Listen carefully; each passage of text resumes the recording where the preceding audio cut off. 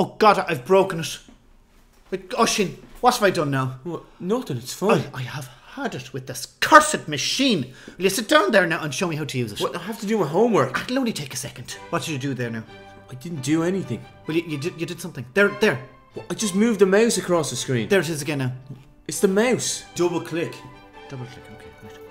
Double click. You have to do it faster. Faster. Yeah. Yeah. Okay. No, just- let me do it. Let's do this. I want you to show me how to do it. I don't want you to do it for me. You just type in your email address. Right. Okay. A. Where's it gone now? N. I've lost it. Where's it? Oh yeah, N. Oh, look! I've got an email from a Prince Saragaba from Nigeria. Oh, mum, I don't think that's actually a prince. Oh, you're jealous? Huh? No, mum, I'm, he's just trying to rob you. He's a prince. He's stuck in an airport and he needs help. Now, where's my credit card details? Oh, no, mum, don't. It keeps offering me cookies.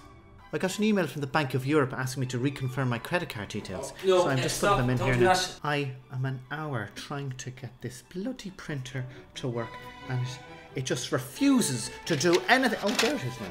Oh God, what's this now? Oh, It's just the terms and conditions. The application may ask for your permission to access. You, you don't have to read it, mum. It's just Gmail. It says, please read the terms and conditions before. yeah, but nobody. It's 14 pages long. You don't. Clause Nobody. one. Mum! Oh, I've clicked out of it. What's this now? History. Oh, that could be interesting. Might be something on the Renaissance. Oh, no, mum, you can't. Don't, don't, don't open that. You can't open the history folder. It could, it, uh, it could break the computer. I thought you said you couldn't break it. That, that can.